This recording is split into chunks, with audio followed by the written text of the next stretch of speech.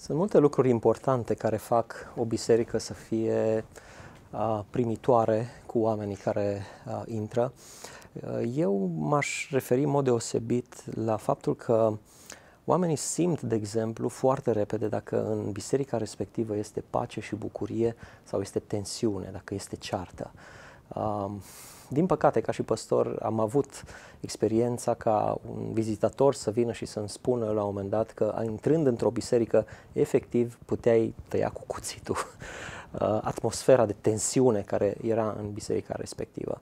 Și cred că în privința aceasta e foarte important fiecare să ne facem partea noastră, atât ca și mădulare sau parte din biserică, uh, oameni care facem parte din biserică, să fim fii ai păcii, așa cum spune Domnul Isus Hristos, și făcători de pace, să nu uh, răspundem provocărilor, să nu uh, punem paie atunci când știm că alții sunt cumva într-o perioadă mai uh, tensionată în relații și în niciun caz să nu provocăm noi uh, motive de ceartă și de dezbinare în, în biserică.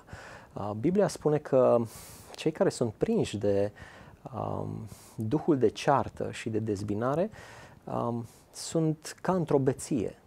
Nu știu știu ce se întâmplă cu ei, ei se consideră bine, dar de fapt ei sunt sub influența unor substanțe nocive. Sau, uh, în Timotei mai folosește și imaginea uh, unui animal prins în cursă.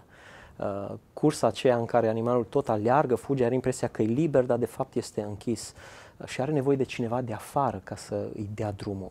De aceea, oamenii păcii, fiii păcii, făcătorii de pace, trebuie să fie oameni care să se apropie de alții cu răbdare, cu speranța că Dumnezeu va aduce și ziua aceea când se vor duce efectele toxice și se va deschide ființa omului către Dumnezeu și va înțelege adevărul despre el, despre cei din jur și mai ales despre Dumnezeu.